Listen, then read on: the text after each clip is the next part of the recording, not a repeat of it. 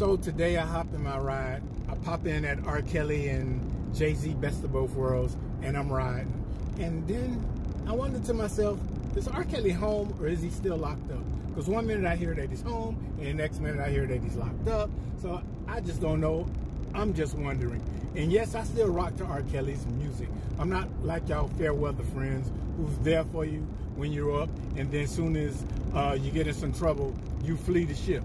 That's not me. I'm old school. We, with our uh, celebrities, do or die. I grew up with R. Kelly in the trunk of my car, bumping and getting honeys. So for all of you people who got your little slick comments and all that kind of stuff, keep them to yourself. I don't care whether or not you like them or dislike them or how you feel about it. This is the way I do it in us OGs from back in the day. Not like y'all new black people. Just let me know if you're home or not, all right?